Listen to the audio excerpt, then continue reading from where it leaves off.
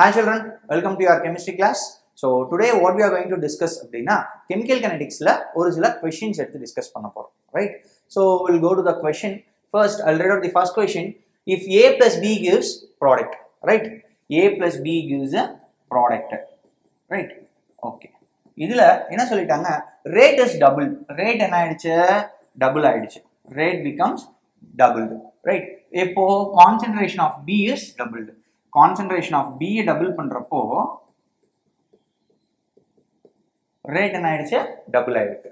ரைட்டா ஸோ அதே rate increases by a factor of eight அதே ரேட் என்ன ஆயிருக்கு?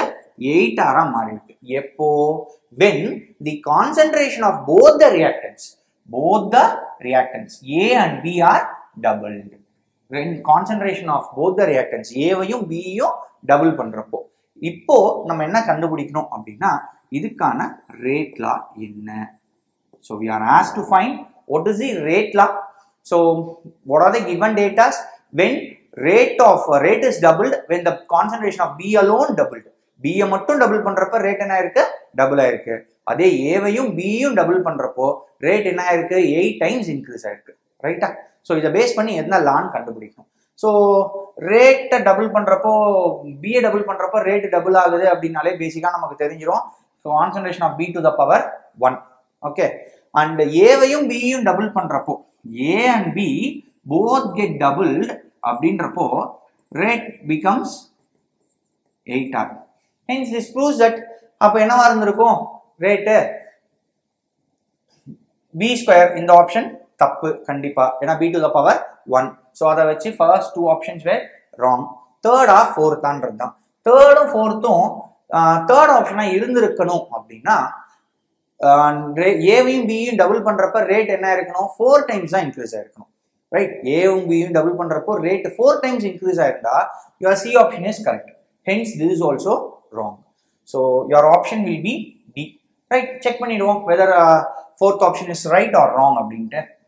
என்ன கொடுத்துருக்காங்க rate which is equal to concentration of A to the power two and concentration of B to the power one so already we found that concentration of B to the power one right okay so i'm going to take concentration of a and concentration of b as 2 right hence r which is equal to rate constant into 2 to the power 2 2 to the power 1 so when ஆகும்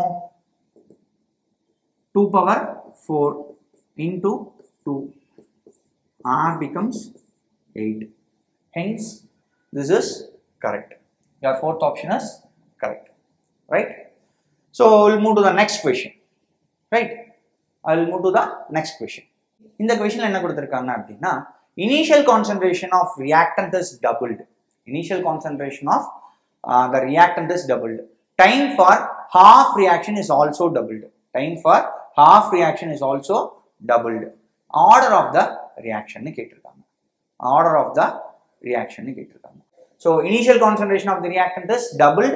Uh, time for the half reaction is also doubled right the order of the reaction ன்னு கேக்குறாங்க okay so we know that ஏன்னா the initial concentration double பண்றாங்க half reaction double பண்ணிருக்காங்க that is t half double பண்ணிருக்காங்க t half is